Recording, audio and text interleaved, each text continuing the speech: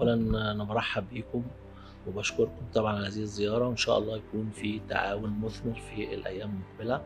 ويمكن يعني إحنا تناقشنا في حاجات كثيرة يعني قلنا دور الهيئة الوطنية للصحافة آه، إن هي آه، بتدير مؤسسات صحفيه القومية هم ثمان مؤسسات صحفيه طبعا أهرام أخبار جمهورية روزا وعلى الهلال دار المعارف نملك يعني آه، 55 إصدار.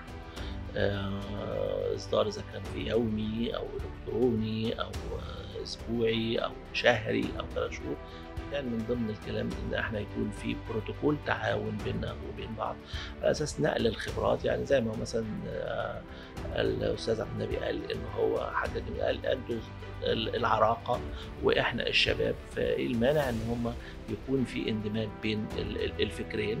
آه، بالعكس إحنا بنرحب بهذا وده إضافة للاثنين يعني البلاد آه، كجريدة بحرية أو مؤسسة البلاد الإعلامية آه، تبنت من فترة طويلة آه، آه، التحول الرقمي باعتبار إن هو ده ال- النهج الجديد اللي تنتهجه الصحافة. آه، وكان الفكرة إن هي يبقى في تعاون بينها وبين الدول العربية الشقيقه اللي لها خبرة في البتاع فحضرتك بتبص للمبادرة دي يعني أو لل- للمؤسسة الاعلاميه كالبلاد إيه اللي ممكن أنتوا شخصيا تستفيدوا منها كهيئة وطنية للصحافة؟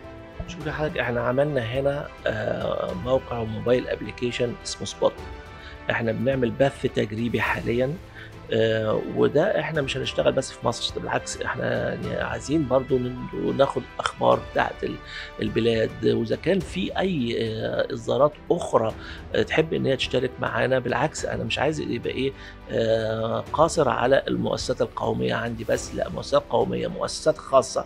أي مؤسسات صحفية موجودة على العالم العربي أنا مستعد إن إحنا نشتغل مع بعضينا بالعكس ده يثري الموبايل ابلكيشن أكتر وأكتر شكرا جزيلا. نشكر حضرتك وتشرفنا بلقائك.